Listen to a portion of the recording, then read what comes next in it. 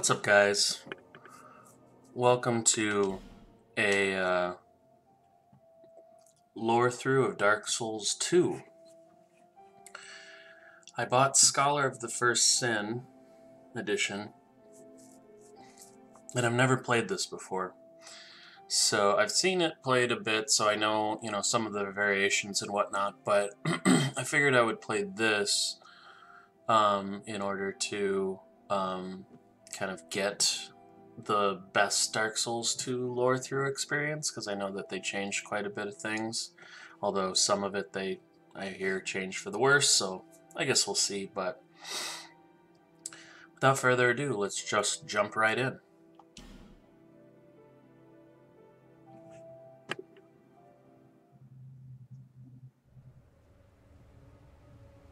Perhaps you've seen it. Maybe in a dream. A murky, forgotten land.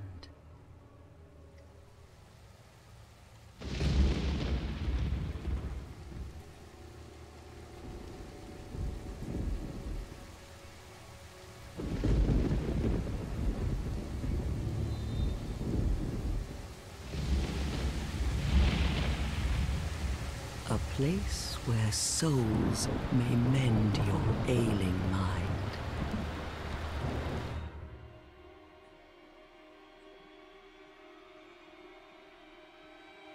You will lose everything. Once branded.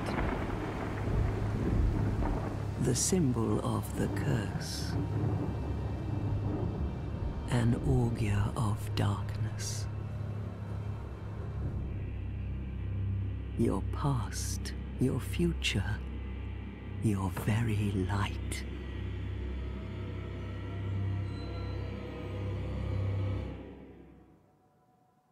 None will have meaning, and you won't even care.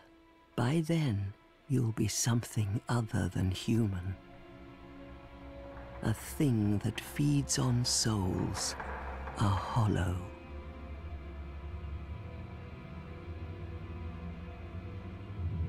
Long ago, in a walled off land far to the north,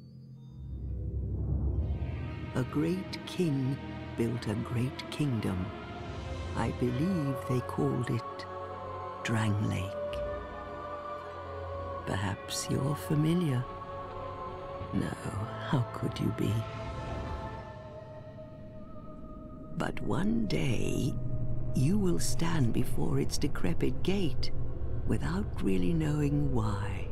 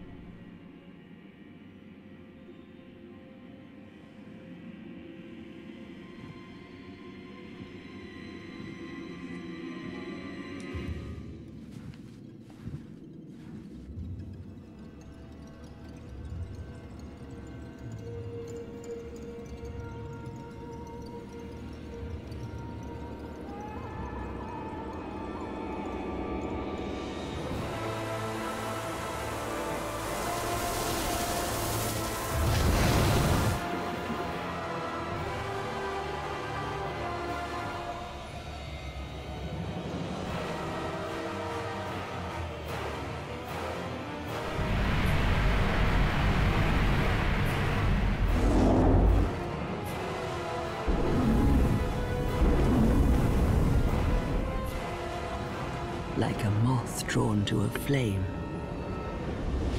Your wings will burn in anguish. Time after time.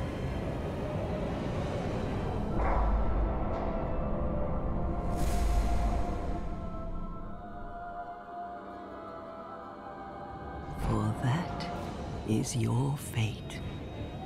The fate of the cursed.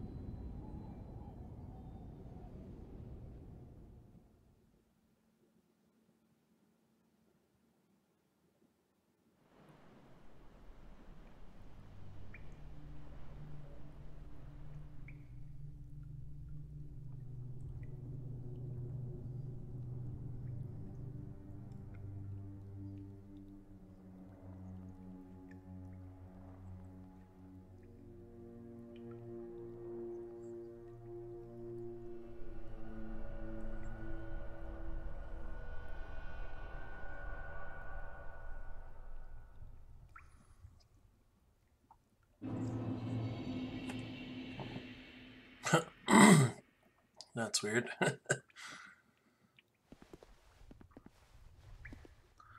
All of the guys spawned on top of me and it made it look like there was a texture issue. So let's just talk about a little bit of what we saw in the cinematic. Again, just like Dark Souls 1, we'll be going over this later um, as we, you know, kind of unravel the game. But uh, unlike Dark Souls 1, you know, it doesn't seem like there's a ton of elements in this opening cinematic that will apply to the story of this game. Um, but they more just give a context uh, for what we're doing. Dark Souls 2 is a lot more about setting a world, putting a world together than it is about telling a story. Um, it does have a story. It does have a direct story, um, and it does have a lot of sub stories. But it really is about how the world is really falling apart again, and about how people came to find themselves in Drangleic, and and really witnessing firsthand, more than in Dark Souls 1, what it means to go hollow. And so um, we were traveling um, and lost our mind, uh, or became undead, I guess. Uh, we're not quite hollow yet, although we are unhuman, so our health is halved. And um, we collapsed on the ground, and then our memories started to fade. And then apparently we lost all form of our past, and we became someone new just this undead entity. And we stumbled across a woman with a spindle, uh, spinning thread.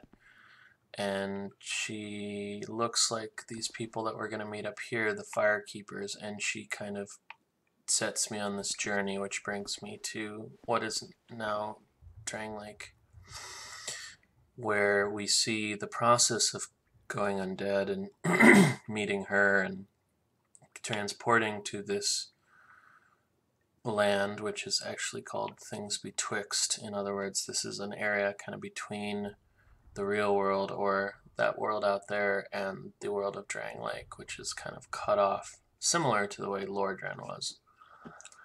Um, but yeah, so that's all we'll say at this point.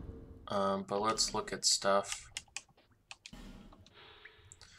Hemp hood that fully covers the face provides protection from the elements and little more. The cursed souls who wander the lands have a strange way of ending up here, as if drawn from afar by some force. and yeah, I mean, that's what it seemed to be that this woman was kind of guiding us, maybe guiding other people. Maybe there's a bunch of, you know, these types of people out there uh, guiding people.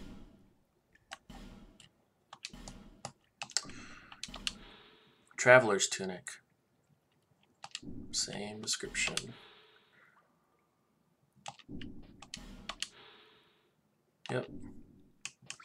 So that's our main thing. Let's look at our uh, inventory. So we were branded, so we do have the dark sign, similar to Dark Souls 1.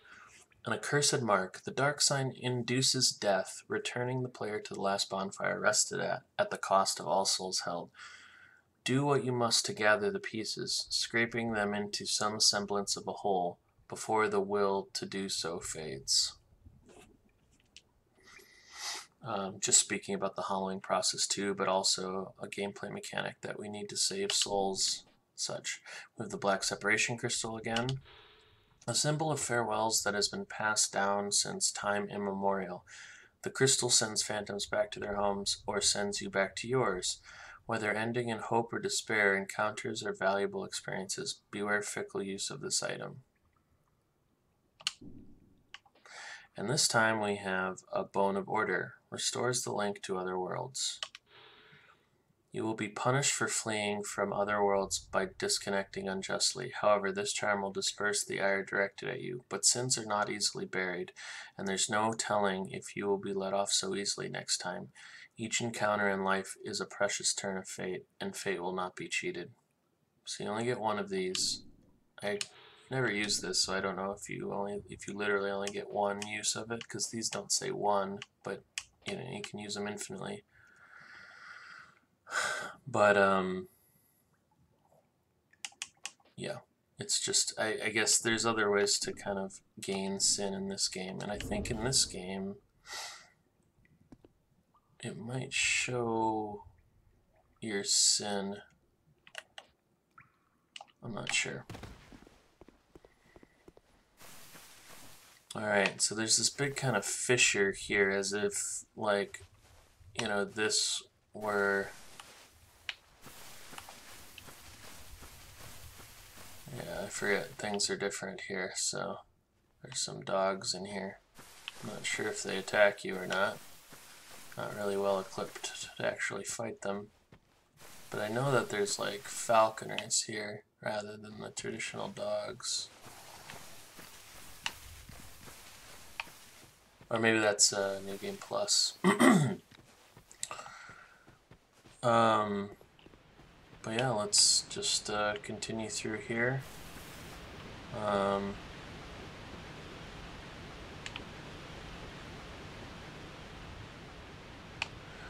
there does look like there are like some sort of like stone pillars similar to the way the arch trees looked.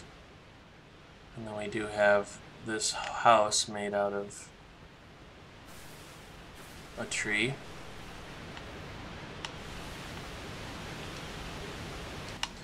We get a small, small, smooth, and silky stone.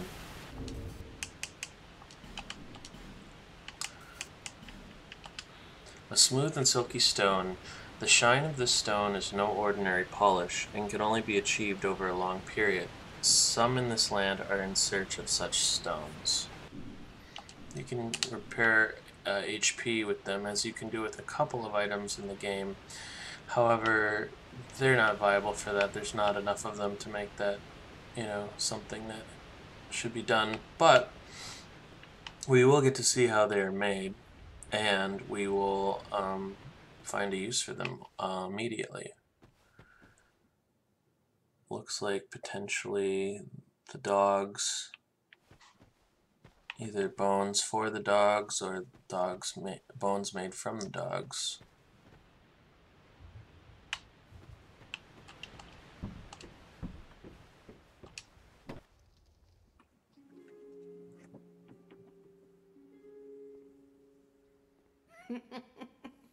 what seems to be the ruckus?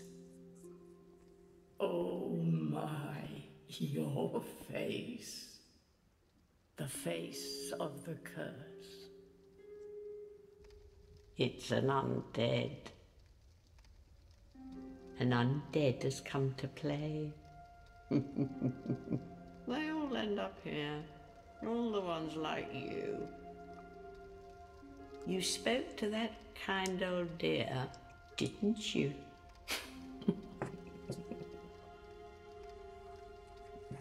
You're finished. You'll go hollow. Yes, you'll become one of them. Hollows prey upon men, feast upon their souls. This is the fate of the cursed.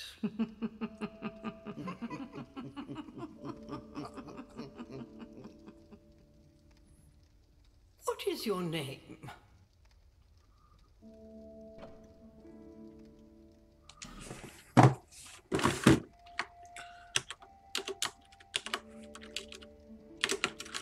Alright. It's gonna be lore through. I am sure of that. At least you know your own name. Here's your reward for sharing. It's a human effigy. Take a closer look do you think it's supposed to be? Think back, deep into your past. Yes, it's an effigy of you.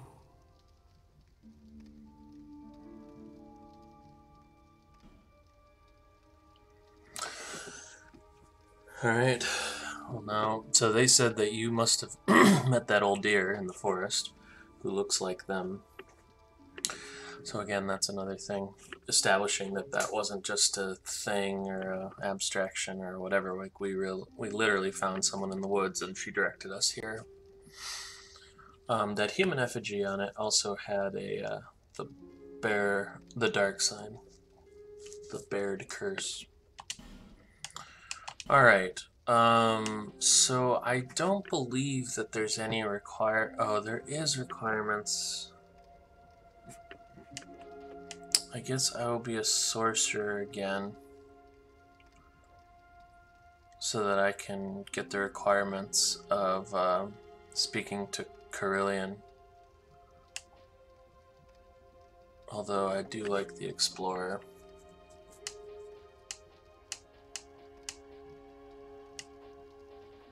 Also, I can't remember if there's any requirement to speak to Licia. I'm gonna go with Sorcerer. Uh, and we can get the Life Ring, Human Effigy, a bunch of healing stuff. It's cool, it shows it on the on the right. Huh. Homeward Bone, Seed of a Tree of Giants. Um... Bonfire Ascetic, Petrified Something. Well, I'd love to read The Seed of a Tree of Giants, and I, I guess I could get invaded, and so... Um, I think you... There's a place to get the Seed of Tree of Giants, and if you get invaded, it grows, I think, on there. I'm not sure, though. Maybe it's just a time-based thing. But Petrified Something I almost always go with.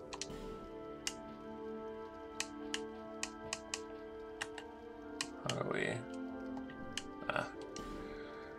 Alright. We'll do a man this time. Very slender. And we'll... So it says homeland, but it doesn't say what homeland these are. So I'm going to go with that one. Gotta do this hair. I mean, they're all great.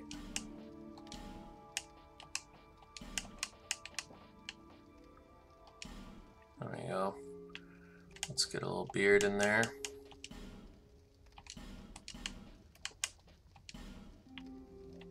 Very distinguished.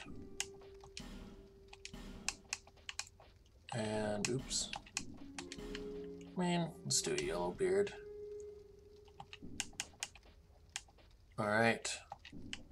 And then we can do all the stuff. I don't need to do any of that stuff. So, let's finalize our creation. Yes, this is me. All people come here for the same reason. To break the curse. You're no different, I should think. Hmm, doesn't stand a chance. Well, you never know.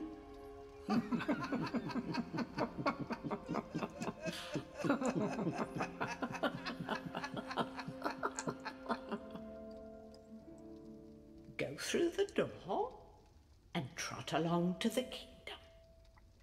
But remember, hold on to your souls. They're all that keep you from going hollow. Oh, I'll fool you no longer. You'll lose your souls. All of them. Over and over again.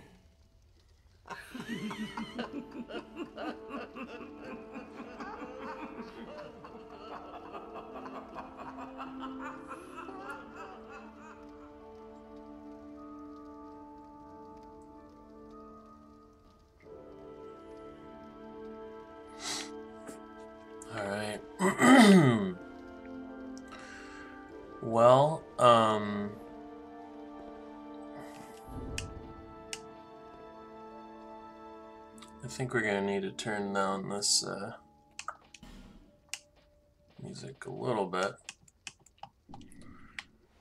Um... So yeah, they said that we came here, um to to break the curse, which is, I guess, similar to what happened with uh, the original Dark Souls 2. It's just that we kind of came through to to be the like like the prophecy stated that the undead would replace Gwyn or whatever, but um all right, well, let's talk to these ladies and see what they have to say.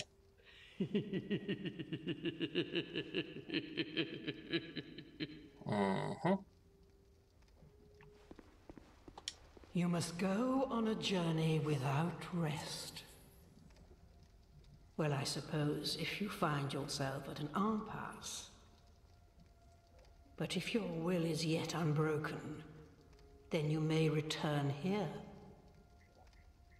to start again with a clean slate.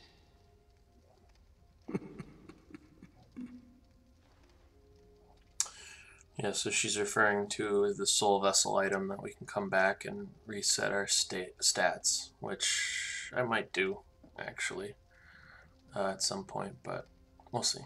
Now, go along, go along. All right. do these? Do they just laugh at you? Okay, let's speak to this younger woman here doesn't look like them. She does have like, you know, a dress on that is clearly made by these people because it looks the same to these, like it has the same stitching.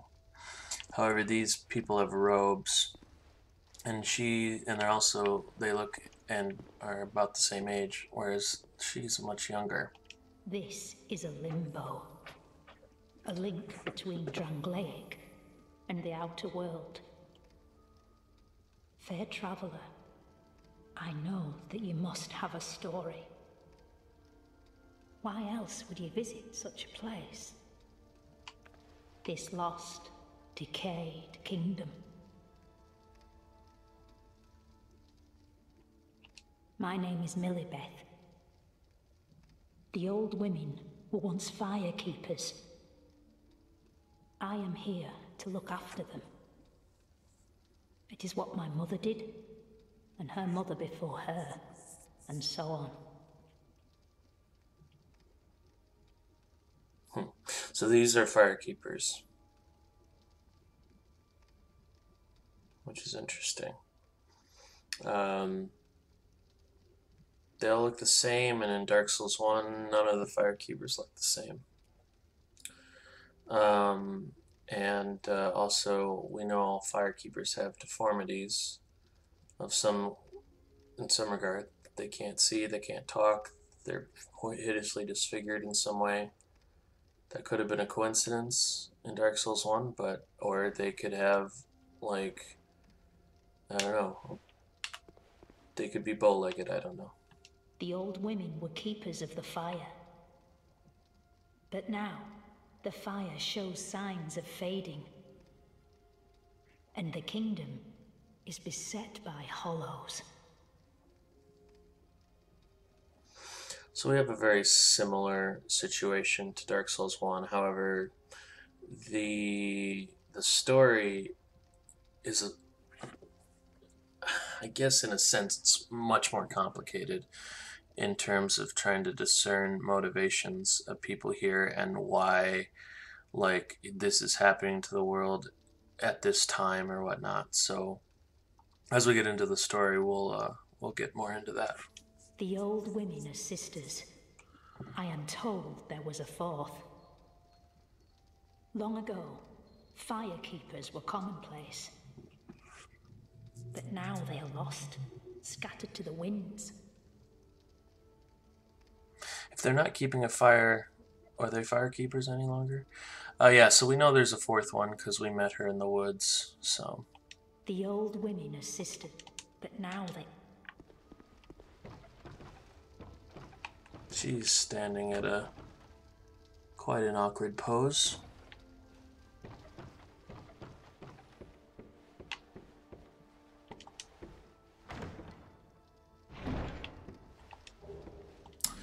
So yeah, those are human effigies. Let us see what they say. A warm, soft, shadow-like effigy. Use this item to reverse hollowing. It also weakens the link to other worlds, preventing invasions. Peer closely at an effigy, and one begins to perceive a human form, but whose form it takes depends on the person who's looking. We also got a life gem. Small stone made up of crystallized souls gradually restore a small amount of HP, often found near abandoned corpses as if it were what remains of the soul. I mentioned this right away in Dark Souls 1 as the potential reason for um, you know, being able to kind of grab souls as an item but uh, Dark Souls 2 takes care of that description. I mean, these aren't the same as those, of course, we still get the other ones, and we'll read those descriptions then, but it does address this idea that there is a crystallization of souls. Uh, and let's read the press petrified something uh, that is pleasant to the touch. An unidentified petrified object, pleasant to the touch despite its looks, a rare and peculiar thing, to be certain, but one without a known purpose. Oops. Alright, now we get a dagger. Um, has only a modest attack and a short reach. With a powerful critical attack, this is a potent weapon. Right. The first staff of most sorcerers, a catalyst for sorcerers and hexes. To use sorceries, attunia. The strength of most sorceries is affected by the intelligence. And then we got the Black Hollow Mage Robe. Robe worn by Hollow Drangleic mages. Drangleic mages worn different garb depending on their sex. What function this served, however, is unknown. As with many old practices, this is a woman's robe. But I'm a man. And then we just get imported trousers. So yeah, um, it says that the you know so like in Dark Souls one when you were a sorcerer you came from Vinheim you came from out land like from far away. But in this case uh, Lake, is has mages as part of it um, I guess. So interesting. All right. Um there's like some things we can do here, but I'm just gonna come back to this area at a different time when I'm a little bit more powerful. Now, in Dark Souls, when you light a bonfire, that means that you'll you'll uh, spawn at it right then and there. Like, I don't have to rest there, which is nice. We also don't have any Estus, which is interesting. Okay, we get our first soul and a torch. And more bones. Um, our torch appears kind of here. It's a weird item. They do it much better in later games, but it's right to the right of my pants.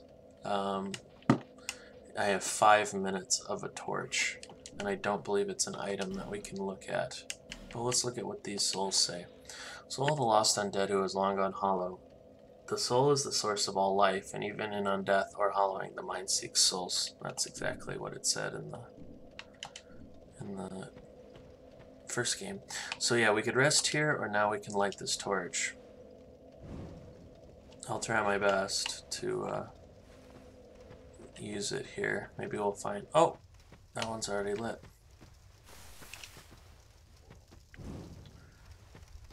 Alright, so let's go through the tutorial area. Oh, nice.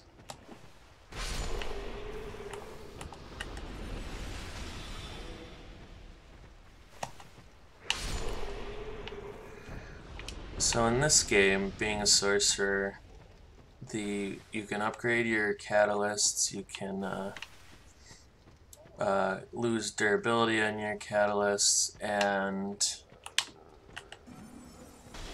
it takes stamina to uh, cast spells. So they've really rebalanced the whole. Um, I guess we can take this off.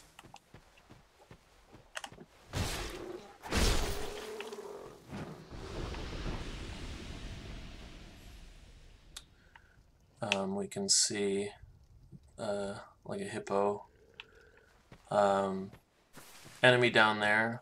Uh, again, I'm gonna wait and come back um, at a different time to fight them. Uh, also, these stones up here tell you what to do, but you know, I've played this once or twice before. Alright. And this is another dagger, I think.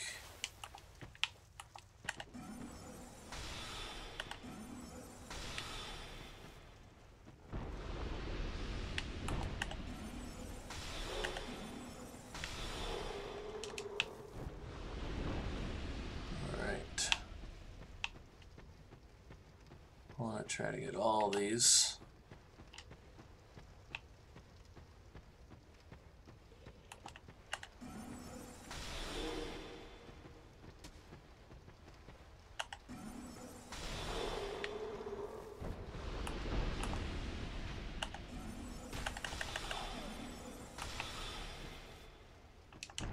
Hopefully we get more torches because I don't see how this one will last us.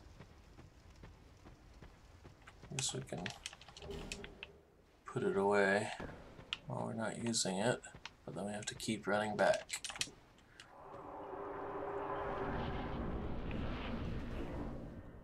Okay, and then we now find the crow's nest. You, you, give us smooth. Yes, you, give us silky. Smooth. That's a little bit more straightforward than in uh, Dark Souls 1. Smooth, silky. Also, they take petrified something, but let's drop this. And we don't have to reload. Nice, so smooth. Yeah, yeah. We can just pick it up, and it becomes a magic stone. You, you, give us smooth. Yes, Or I guess we have this too. silky. Yeah. Doesn't say much. Um, magic stone. An altered state of Titanite. Used on the weapon to convert wielder's intelligence into attack. Cannot be used on shields. Sorcerers at the Melfian Magic Academy once attempted to imbue Titanite with various elements, but are said to have failed. Someone must have succeeded, though. What else would explain this stone? So yeah, this is kind of where I was I was interested to read those uh, my robes because Melfia is kind of the place where magic is taught and dealt with in this game. So, all right, and let us drop this, which gives us something better. I mean, these are all random, by the way, and this one is just gives You, you you, give us smooth. like the petrified somethings give you better items. So yeah, we got twinkling from this. A form of Titanite with special power. What cosmic events could have created such a powerful class of Titanite? Alright. Um Oh, there is a uh, there's a thing to light over here. Alright.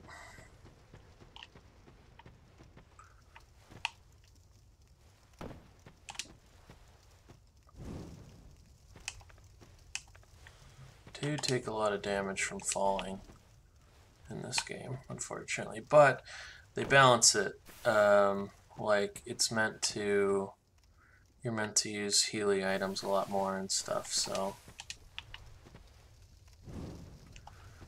Alright. Might as well just light all these while we're here. Um, oh, there's now a petrified guy there.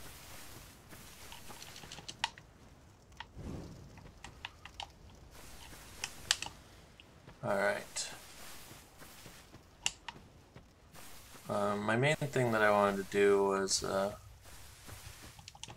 grab the ladder to get up to the silky.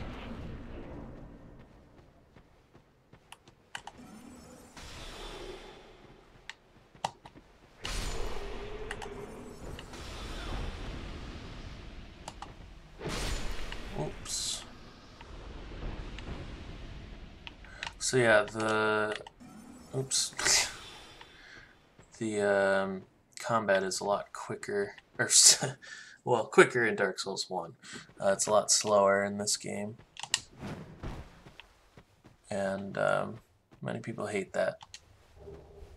I got the Amber Herb, which is a great improvement over Dark Souls 1. Or just a great addition. An annual herb with an amber color so deep it gives the impression of luminescence. Restores a small number of spell uses. It is the mistaken belief of many that the flowers of this herb do not blossom. However, small white flowers do blossom during dusk when the moon is visible. So we know moon is attached to sorceries. Oh, that was close. Um, yeah, I won't be able to do this whole area, so I might as well go light stuff when I have more torches and when I can uh, unpetrify that guy. Oh wow.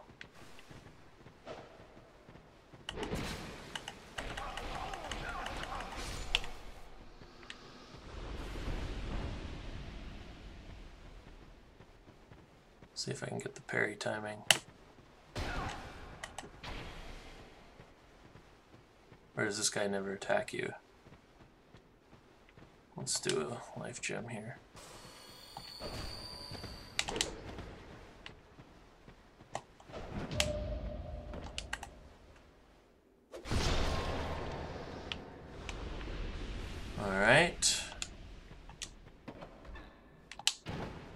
open up doors quicker by rolling halfway through the animation. I love that.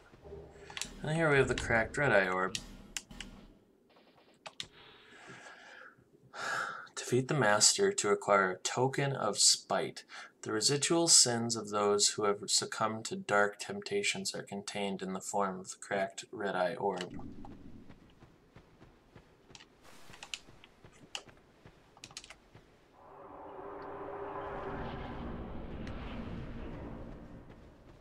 yeah, I think there's, yeah, there's one more of these up here.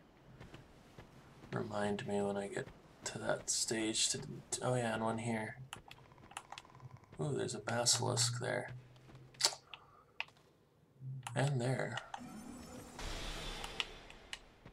I guess that makes sense. Um, basilisks appear next to people that are stone petrified. So can we just not come here?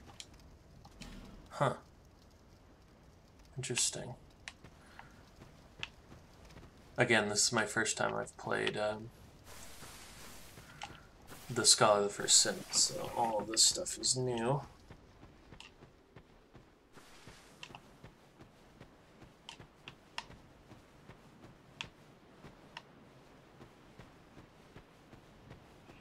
And as we continue through the things betwixt and we enter into Drangleic, we find, blinded by the sunlight, Majula, which I quite like.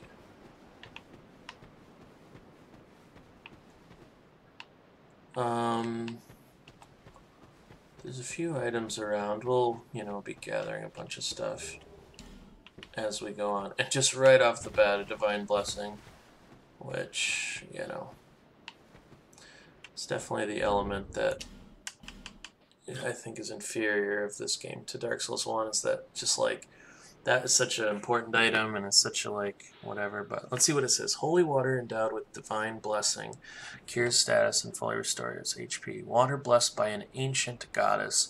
Her name long forgotten and the magic academy of Melfia denies her even her existence in any age, there are those who refuse to see reason. It is their meddling that distorts the truth. So, yeah, they're talking about Gwynevere. Alright. We come down this way and we get a few extra items. Alright. So, looks like a cleric was here. Maybe it was Petrus. A club fitted with a spiked head. The spikes of this blunt weapon cause bleeding, normally wielded by clerics, but clearly intended to draw blood. Most clerics receive this as their first chime for miracles and hexes. Uh, to use miracles, equip a sacred chime and attune a miracle at the bonfire. So yeah, um, as I say, there's sorceries and there's um, miracles and there's also hexes now. Which so sorceries is intelligence, uh, miracles is faith, hexes is both. And I won't um, forget to pick this up on this playthrough. It is a weapon, quote unquote. Binoculars are used to peer at distant sights, equip in place of weapons to use. A rare tool crafted in Volgen. These won't help you in battle, but with a little creativity can be put to good use. You can aim with them, uh, I think is maybe what they mean. Now that's our first, wait, that's the first time we've heard about Volgen. And we'll learn more about what Volgen is and why it's, you know, a thing. Um, but yeah, let's uh, let's let's just explore Majula, and then uh, then we can call it an episode. I do like how they show the name of each bonfire in the top here, unlike in Dark Souls 1. Uh, so we can travel right away to any location from the beginning, which, you know, maybe that's good, maybe that's bad. We could tune spells, um, or we can burn items. We already read the human effigy, um, but we could burn it, which wouldn't make any sense here. And then we have an item box right off the bat, which I like. I also like the um, GUI for it a lot better than Dark Souls 1. But I'll be making a lot of uses of this. First and foremost, let's go talk to the Emerald Herald, is dressed similarly to the uh, um, firekeepers and things betwixt, I guess with the with the robe or whatever, but let's see what she has to say. Are you the next monarch? Or merely a pawn of fate? Bearer of the curse. I will remain by your side till this frail hope shatters. Take this with you. May it ease your journey. So we get one Estus flask here. Go on and see the king. He who made Drangleic what it once was. He who peered at the essence of the soul. King Vendrick. Okay, so she starts out by saying, Are you the next monarch? Um, and then she talks about a king of Drangleic. Um, we can see the castle in the distance right there, which we kind of saw in the opening cutscene, but there's the remnants of what we have here in Drangleic. Um, uh, but anyway, she um, asks if we're going to succeed King Vendrick, which is interesting. It's a similar plot line to Dark Souls 1. And he also, she also said that King Vendrick looked into the essence of the soul uh, which is actually a very interesting topic, which we'll discuss as it comes up. And um, what else did she say? I don't remember, but it says that we can level up through her, which is a mechanic kind of reminiscent of Demon Souls, and they use it, of course, in Dark Souls 3 as well. Um, I don't know, I kind of prefer it to leveling up at the bonfire, but let's see what else she has to say. Bearer of the curse, seek misery. For misery will lead you to greater, stronger souls. You will never meet the king with a soul so frail and pallid. So yeah, we're going to be talking about King Vendrick a lot, because King Vendrick is the central character in this story, much like Gwyn. Um, and But she also is implying that we cannot kind of get to him without um, more stronger souls. And she's also implying that she wants us to succeed him, or she's kind of sending people out on this journey hoping they succeed. So we'll learn more about that too. Seek those whose names are unutterable. The four endowed with immense souls. Their souls will serve as beacons. Once you have found them, return here to me, so that hope will not fade away. So, in this game, we have to go to four different places and fight the, the characters in this game that have the great souls. Need four of them. It's kind of like backwards of uh, Dark Souls 1.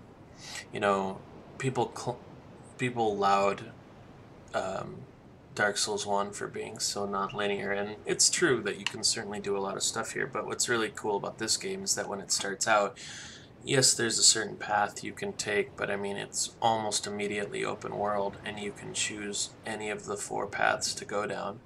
Um, you know, probably best after Forest of Fallen Giants, but uh, it's it's just a it's a very open world game and can be customized the way you want to play it, which I think is cool bearer of the curse. Seek souls. Larger, more powerful souls. Seek the king. That is the only way. Lest this land swallow you whole, as it has so many others. Alright. So yeah, now we can level, we can upgrade our Estus, and we might as well talk. Over the hill and past the forest, is the king's castle, where a man peered straight into the essence of the soul. But whatever came of it? A lot came of it, actually. Those who come to Drangleic seeking salvation soon lose hope and turn hollow. It happens to them all, sooner or later. That blue knight at the base of the tower his spirit is already broken. Although he does offer sound advice. Perhaps he is a foreshadowing of your own future. That tiny thing inside the ruins. An ancient being that will mock your very existence. She imparts sound wisdom. Provided you find her on a good day.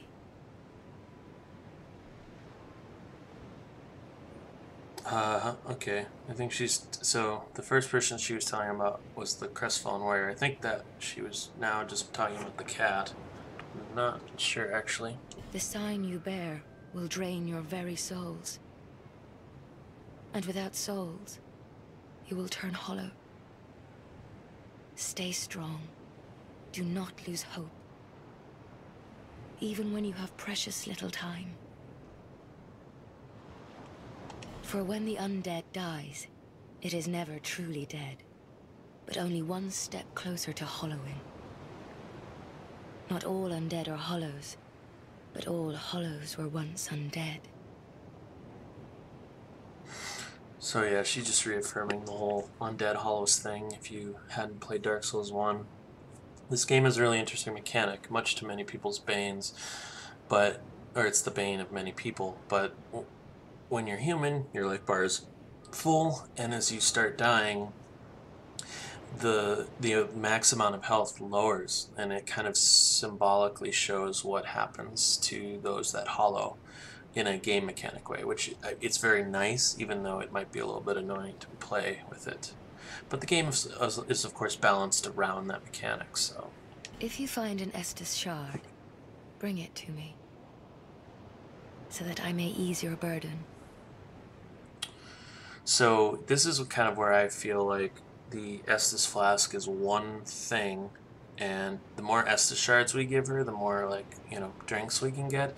And I'm thinking of it kind of like there's holes in the Estus flask. It's so old, and we get a shard, and we put it into the, or she helps put it into the thing and makes it so I can fill it up more at the bonfire each time. That's kind of why I think that you only ever get one Estus flask no matter what game this is kind of where I've gotten that idea. Better explained in Dark Souls 2 than Dark Souls 1. Over the hill and past the forest. Alright, we did this already. Okay. We'll come back to her and we'll be learning a lot of stuff. Unfortunately, we are now going to talk to the Crestfallen Merchant or the Crestfallen Warrior, and he talks a lot. It shows how many times people have died in, in the game, which is cool. And then there was one on the back here, which in the first game said nothing. Yeah. But here's the base of the tower where we find this guy. You're undead, aren't you? You have that distinct scent, the smell of irreversible fate. This is Majula. It is a kind of settlement. A place where life is almost normal. And in Drangleic these days, there are very few places like that. So it's the first mention of a scent. Uh, we'll talk about scents a lot in this game and smelling human and, and all that stuff uh, as we do in other From Software games. Um, but yeah, he's got a lot to say, so let's just try to get through it. I am Saulden. And like you, I lost everything. And now I'm here. You probably heard that it was possible to break the curse here. Well, that's not true at all. There's nothing here for you, me, or anybody. Do you know much about souls? Even I'm not certain, but I'm told that the soul is the essence of life itself. Anything living, sentient or no, supposedly has one. What we call the curse is traceable to the soul. Do you see what that means? To be alive, to walk this earth. That's the real curse, right there. We undead will never die. And that's quite a predicament, really. Yep, souls and the curse and undead are linked inextricably, so. There are four beings in this land with giant souls. And wherever you go from here, you'll sooner or later come up against them. Each has a powerful soul and a terrible curse. If that frightens you, then you ought to just give up right now like I have.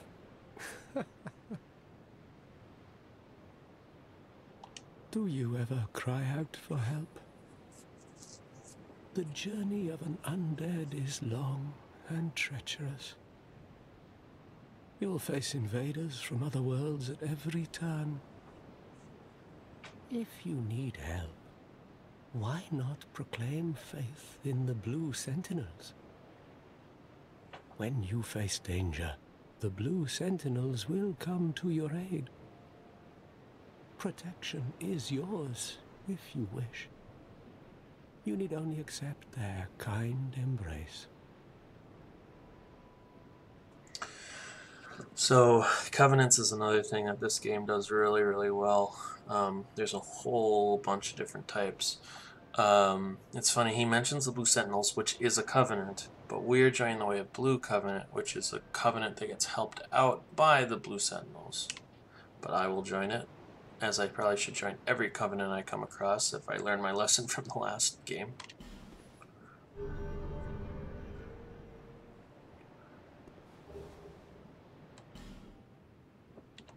That is a wise decision. People are weak, but the Blue Sentinels watch over us in their benevolence. Let the sentinels cradle you in their embrace. Also, uh, by our life and stamina bar, it shows what covenant you're in, which I like as well. Um, better GUI for that. Do you feel lonely here? It suits me just fine, as I've nothing left anyway. It will grow on you, this place. Give it some time. And we can learn the welcome gesture. And unfortunately, he still has more to say. Do you see the way beyond the bonfire? That will take you to the forest of the giants. There was once a great fort, but little of it remains. You may just find something there that will be of use on your journey. But don't venture too far inside, or you might not come back.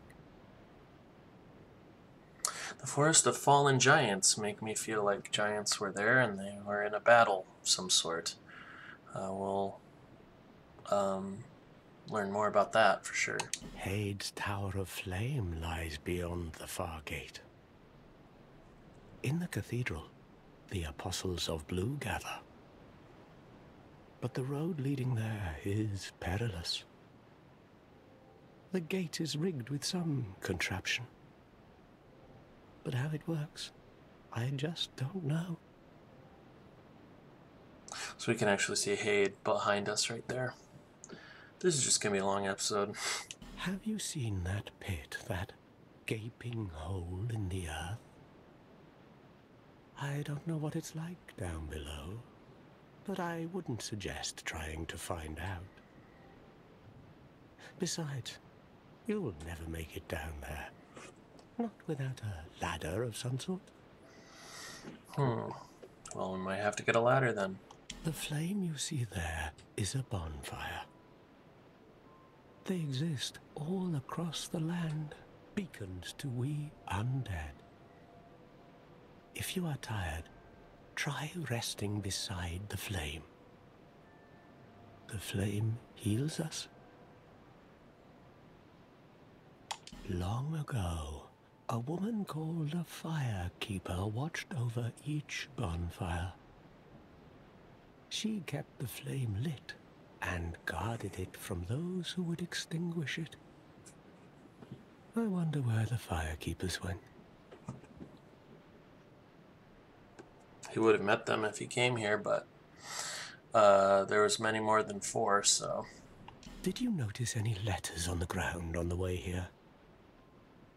These are messages that have jumped the fissures between worlds.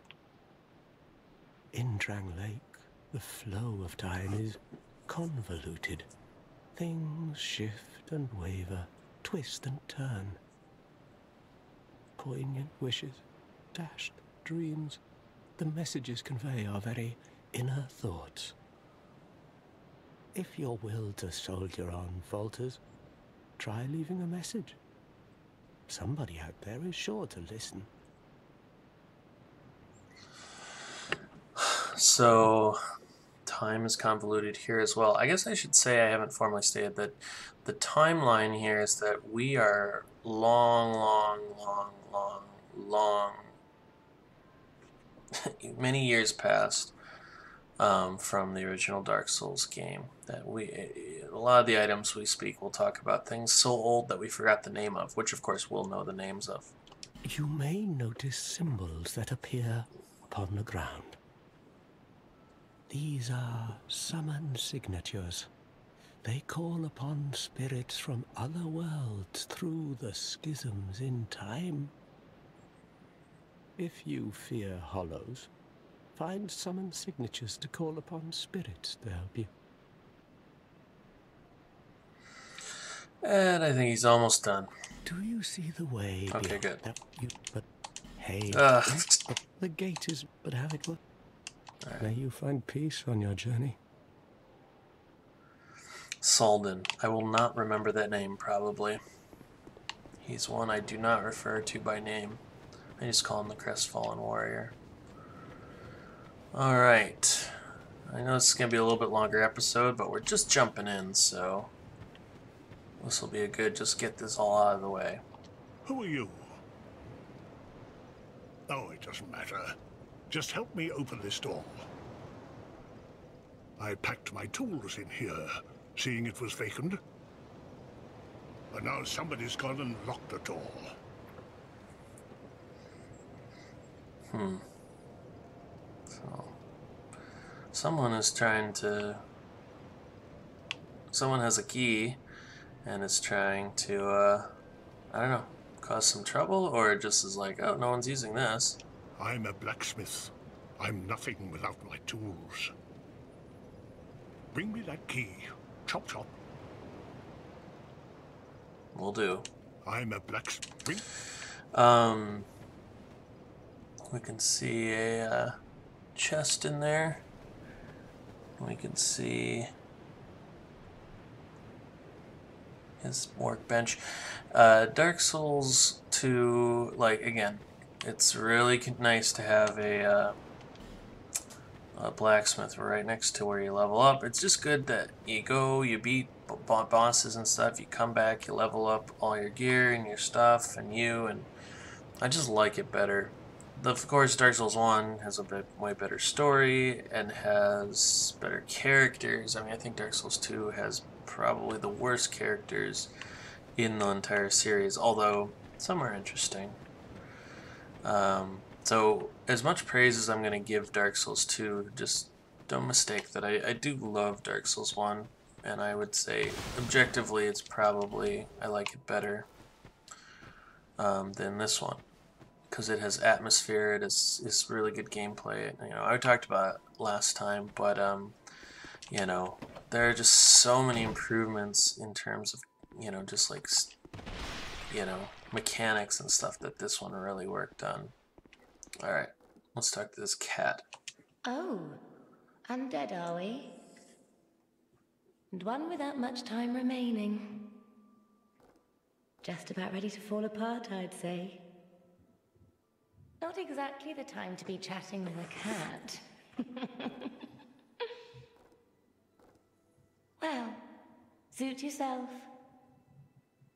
Oh, yes.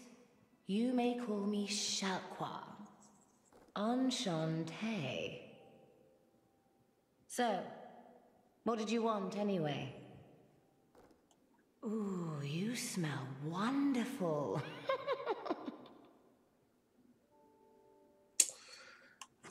so, Shalquoir, sweet Shalquoir has a couple of interesting items. Again, she mentions that we smell good. Alright, so Ring of the Evil Eye. We found this in the depths. Uh, and it spoke of a beast that came and attacked Astora, I believe. A modest but inexplicably disturbing ring. Absorb HP. Peer too closely at the rare stone that forms the eye of this ring, and things that writhe and stir may come into focus. Silver ring depicting a leaping feline reduces damage from falling. Legend has it that when cats grow old, a force brews within them and they are reborn as something new. I think this game has a lot of thematic similarities to cats. I think the reason that cats are in this game probably just lend to the thematic nature of of, of a lot of this game. But I think that that kind of the whole like cats have nine lives or whatever, which I know is not like a thing, but as a symbol, and it says right here, as they grow old, a force brews within them and they are reborn. Obviously, that's what we do uh, ourselves as the undead. Red Eye. A cursed string depicting a demon eye becomes easier to be detected by enemies. If it is tranquility that you seek, then you should never have left your home. If you seek strife, then fair enough, but no need to overdo it. I like how the ring's description itself is saying that you shouldn't get the ring. A special ring that can be engraved with the name of a god becomes easier to connect the worlds of players who chose the same god. There are countless vestiges of long-lost gods in the ruins of Drangleic, or perhaps they're the very same gods as ours, only known by different names. There are a lot of gods in this game. A lot more mentioned than in uh, Dark Souls 1, for sure. Ring worn by Rhoy the Explorer. Hear the inner voices of surrounding foes. Useful for locating hidden enemies and perhaps for a few other things as well. So this is kind of similar, and this is why I thought, I guess, I always thought the Old Witch's Ring was really thin, but I guess it's because the Ring of Whispers is. It's used for a similar purpose, um, uh, so we'll be getting this one for sure. Alright, and then we have Homeward Bone. A white ashen bone. Return to last bonfire rested at. Bonfires burn on the bones of undead, and this bone, belonging to one whose journey was cut short, has the power to travel to bonfires as if it yearns to resume its futile quest. That's interesting. The description in Dark Souls 1 sort of implied that there was these special bones that were like linked to their like where the rest of their body was, and so they return to the bonfire. But this kind of implies that because you always die and return to the bonfire, this bone like never finished its quest, and so it still returns to the bonfire. Interesting. Prism stone, a slightly warm rock, emits a beautiful phasing aura of seven colors with a very rare eighth. The prism stone does nothing special, but if you feel you may lose your way, it can serve as a path marker. Alluring Skull, a skull of unknown ownership. Smashing it releases traces of souls which attract nearby foes. Does not work on all enemies, but can prove useful in unexpected ways. Lloyd's Talisman. Talisman used by cleric knights. Block Estus recovery within a limited area. It is said that the cleric knights used these talismans to hunt down accursed undead. Cleric knights fight with pride, and by blocking the recovering of the undead, they can also fight with impunity. Well, we know a lot more about Lloyd and Talisman and whatever, but this description seems more or less correct from what we know about it. Uh, we can leave our covenants with Shalquoir. We can look at our rank in all the covenants that we join with Shalquoir. And let's see what other... I don't think she talks as long as the other guy. This place is already dead. Everything will crumble and waste away so that something new may be born. Isn't it wonderful? this place is fascinating. We receive only the most peculiar visitors. Folk like yourself. It's enough to keep even a cat amused. Are you going to see the old ones? Those four who have grown so incredibly ancient. They must have sprouted quite a thick coat of moss by now. For heaven's sake, no one even knows their names anymore. Imagine that. it's interesting that Shalquoir... Yes, nothing like yourself. For you have a most pleasant scent. It grows nicer with each passing day. it's interesting that Shalquoir refers to them as the old ones, um, the ones that have the four souls. Um, I suppose in this in this timeline, they're probably still considered ancient because people have not been able to defeat them, but they do contain souls which are even more ancient, which might make them in a sense, more ancient themselves. Or perhaps these are the exact, um, you know, people that, you know, we're talking about in Dark Souls 1. Nito, Gwyn, uh, Izalith, um, and maybe the Furtive Pygmy. Um, well, you know, we'll talk about all this stuff as we come around, but the old ones is an interesting way to put it. Have you made friends with the man by the sea? Yes. He's lost everything. Absolutely everything. the only thing he's good for now is a few tidbits on covenants. Covenants are a type of, well, contract, you might say. You give something to gain something. That's the way humans like it, right? It might be just the thing you need. But what does a cat know?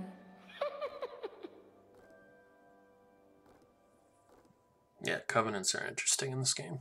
Did you see that oddly formed rock behind here? No, not yet, but we will. Long ago, they called it Victor's Stone, as I recall. If you wish to face greater challenges, speak to the rock. Although, you'd just as well not. we'll go look at that and I'll talk about that in a second. This place is already. Everything will. Isn't. Nothing suited you, I presume? Not yet. Well, that's dismaying. All right.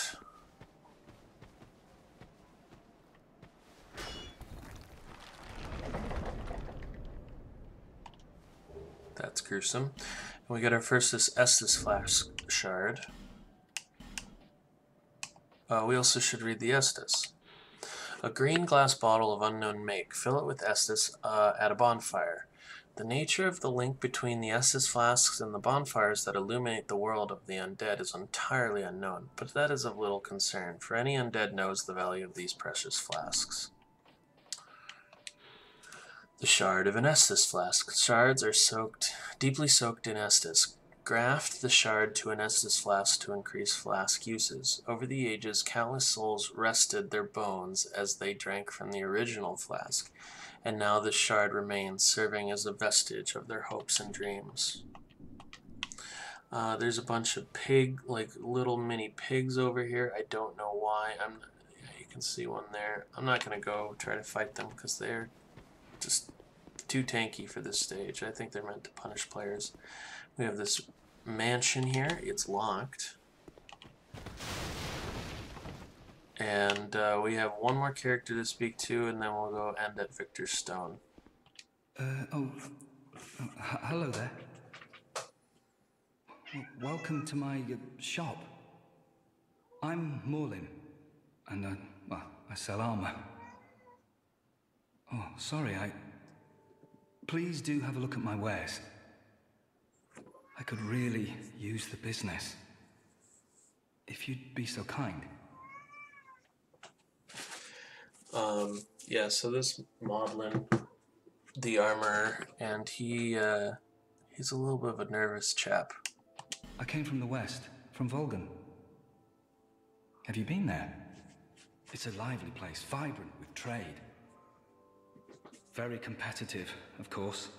And you, you have to grease the wheels to get anywhere. But I didn't have the funding for that, so I left home in hopes of striking gold. It's been years since then, and I've. I've made very little headway. I don't even know why I'm still here. Everything's all run down and dying. It's terrible for business, really. So yeah, he's from Volgan. He tells us that Volgan is uh, kind of a center for trade and such, and there's so much competition that he had to leave and come here. Although I would suspect that he, you know, is very close to hollowing, um, and he has so he left to go find gold, and he doesn't know why he's ended up here. Uh, we'll see that as a theme of a lot of different people. A group calling themselves the Blue Sentinels have gained much power in Volgan. You can't even run a shop without their blessing. They claim to be working for the greater good, oh, but it's absolute hogwash. Another great example of two different people contradicting each other. It's what I love about the series. oh, by the gods, why the hell am I here? I think that's it. Yep. Oops. Oh. Um, he has some stuff. I know this is a real long episode, but uh, it'll be good to get all this out of the way before we just charge into the rest of the game. Iron Parma, a small shield used made of iron, lightweight despite its iron construction and sturdy despite its small size. Silver Eagle Kite Shield, medium-sized shield uh, commonly used standard shield has a pointed top designed for ease of use while on horseback. Twin Dragon Great Shield, a wooden great shield featuring twin dragons. Quite light for the size of the shield. One required strength to handle a great shield, but they are very they are very stable. In battle, one fights using shield bash instead of parrying. Not my style. And then we have a standard helm. These don't have anything on them. Okay, I mean, this just says armor worn by Drangleic infantry. So Drangleic had an infantry, um, which we'll learn more about. Falconer helm. Helm worn by the Volgan falconers. Domestic Volgan soldiers are infamously timid, so it is no wonder that this fierce band of mercenary falconers falconers was hired to compensate. In practice, they serve as bodyguards for the affluent elite, and they serve well such that nobody dares scrutinize their background.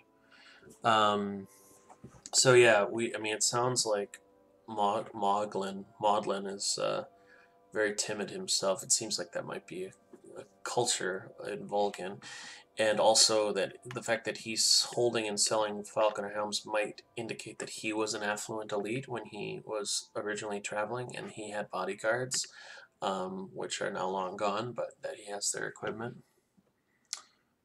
and that that that would maybe indicate that Maughlin was a, a domestic soldier as well. But yeah. Well, I, I, well, I do hope I see you again he's like you know almost pathetic really. Uh, it does beg the question why the blacksmith doesn't set up in here. Um, there's plenty of things. I guess like yeah there's a hammer and there's these forges and everything here. I don't know. I guess he's just stubborn. I get a titanite shard here.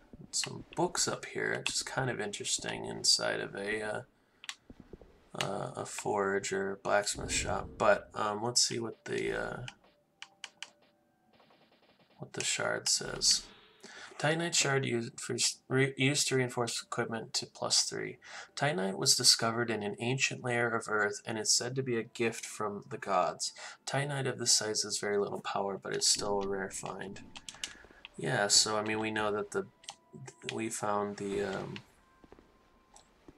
the blacksmith deity gifted the titanite slabs that he found or created maybe? I can't remember. But um so yeah it says it was given by the gods and I guess that was the case.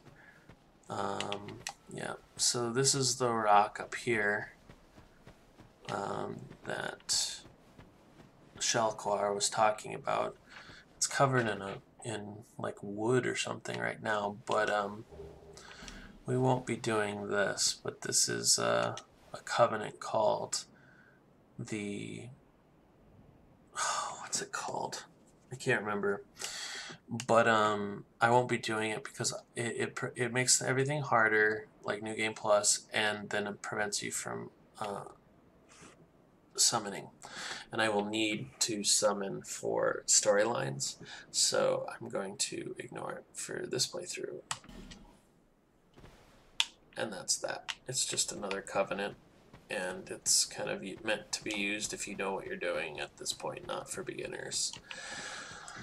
Anyway, well, that is, at least for now, that is um,